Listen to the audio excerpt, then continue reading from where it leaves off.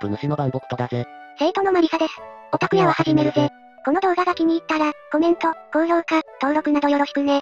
ついでにウプ主のバンボクト作者ページも覗いてみてくれ。それから Twitter のフォローも頼むぞ。アシモフの未来史年表2回目です。師匠、今回はやっとファウンデーションシリーズの解説をするんですよねもちろんだ。わしもハリセルダンの心理歴史学について語れるから、ほっとしておるぞ。そもそも、心理歴史学って、何ですか？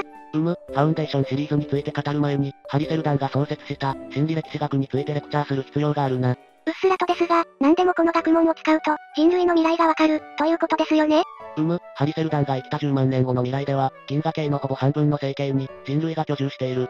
その数は超では聞かず、系の意に達している。心理歴史学は、この膨大な数の人口を扱う学問だ。原作では個人の行動は予測不可能だが、十分な数があれば機体の運動を計算で予測する程度には、予想できるとな。それ、どのくらい真実なんですか？群衆心理学なんて学問があるが、ある一定の条件での群衆の行動を述べたものだ。心理歴史学ではもっと大きな規模の、社会的な流れを予測する。この学問を使って、ハリセルダンは銀河帝国の崩壊を予測した。おっと、少し急ぎすぎたぞ。アシモフの未来史年表に戻ろう。ハリセルダンが心理歴史学を創設するまでの活躍を書いたのがファウンデーションへの序曲という小説だ。要するにスターウォーズの、エピソード1にあたる作品って、ことですね。う。その例えは適当かどうか、返答に困るぞ。は、そうでした。つい、口が滑りました。ともかく、この作品でアシモフはセルダンの若き日を描いている。帝国の首都惑星トランターで、セルダンは心理歴史学を完成させるヒントをつかむ。いよいよ、心理歴史学を使ったファウンデーション設立のエピソードが語られるって、わけですね。そういうことだ。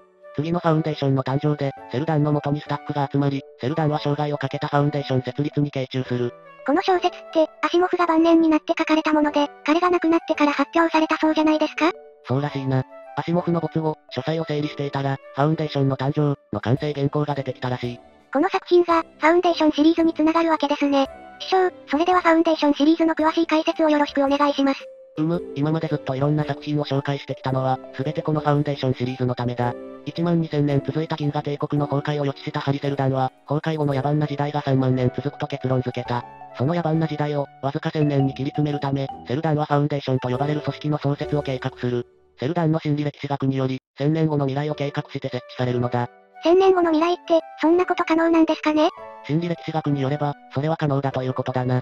計算によって、人類社会の動向が予測できるから、それに対処した方策さえできれば、社会の数勢をコントロールできるという。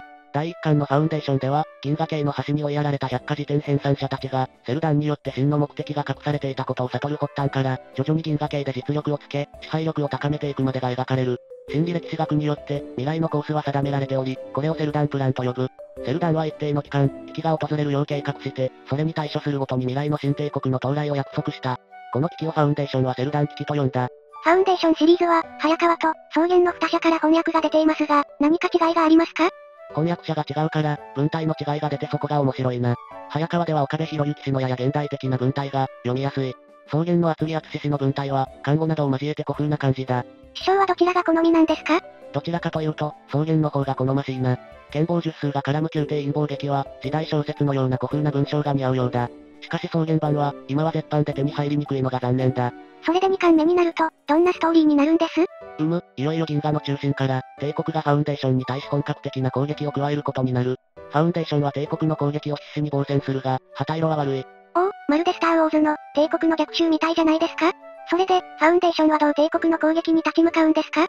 それをここで話したらネタバレになる。だから興味のある人は原作を読むのだ。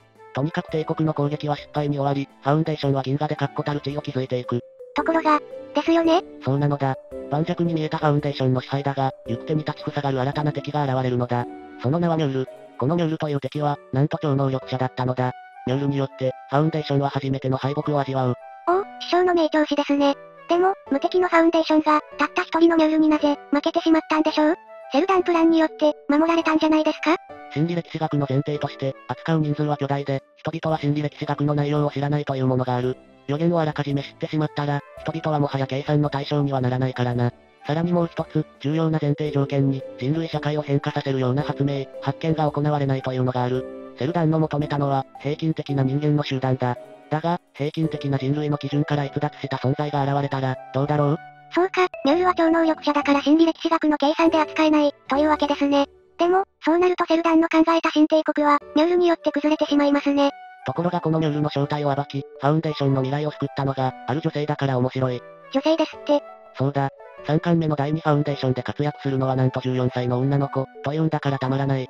スペースオペラで、少女が主人公って、まるで今のラノベ設定じゃないですか。3巻目でセルダンが示唆した、第2ファウンデーションの謎をめぐり、ミュールや、第1ファウンデーションが捜索を続ける。第2ファウンデーションはどこにあるのか？ど、どこですか？それを言ったら、ネタバレになるじゃないか。それにファウンデーションのストーリーは、これで終わらない。さらなる未来で、セルダンの予想もしなかった運命が待っている。ということは、つまり、アシモフの未来史は、3回目に続く、ということだ。それでは次回の動画をお楽しみに。